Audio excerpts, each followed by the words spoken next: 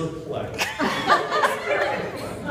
we had ordered from Louisville Stoneware a plate, oh. and we had asked them, could they give us a mock-up of that so that we would have it, because they say it takes about six weeks to do. Oh. So, um, they said, no, we can't do that. So I thought, well, we've got to have something for you. So here is our official mock-up.